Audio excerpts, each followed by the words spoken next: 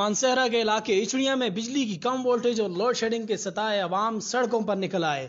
इचड़िया interchange पर एहतजाज किया और सड़क ब्लॉक कर दी। मुजाहरीन की जानब से वापडा के खिलाफ शदीद नारेबाजी की गई।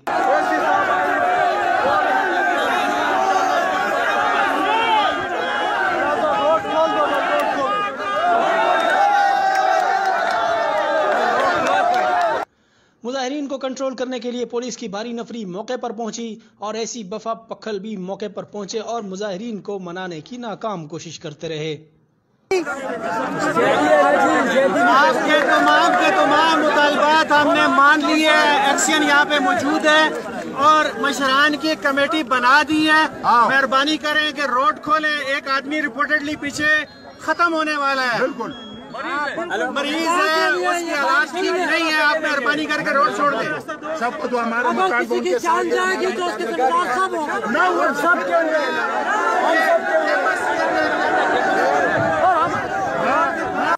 मुजाहरीन के मुतालबे पर एक्सियन वापडा मौके पर पहुँचे और मुजाहरीन से मुजाकरात किए। मुजाहरीन को सड़क खोलने की गुजारिश भी करते रहे। मेरी रिक्वेस्ट है कि लोगों को तकलीफ़ हो रही है हम इधर ही हैं हम रोड दें मैं इधर ही हूँ प्लीज़ आप हमें पाँच रुकनी कमेटी दें और रोड खोलें। हाँ। मसला हम हल करके हम हल करके निकलेंगे। एक्सियन का कहना था कि वोल्टेज का मसला ओवरलोडिंग की वजह से है जिसे जल्द हल कर लिया जाएगा। वोल्टेजों के लिए ये फीडर जो है ना, बहुत ज़्यादा ओवरलोड है। ठीक है? अब जब लोड ज़्यादा होता है तो इस पे वोल्टेज भी कम होते हैं।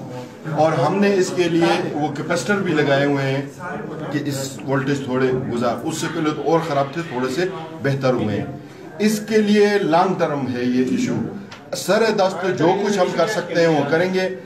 मुजाकरात के बाद मुजाहरीन ने एहतजाज खत्म कर दिया और चंद ही घंटों बाद वोल्टेज में भी बेहतरी आना शुरू हो गई।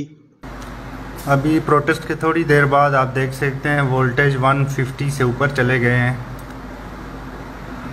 तो देख लें, अब पता नहीं है ये आर्जी है या मुस्तकिल है, लेकिन दो तीन महीनों के बाद 150 प्लस वोल्टेज देखने को मिले।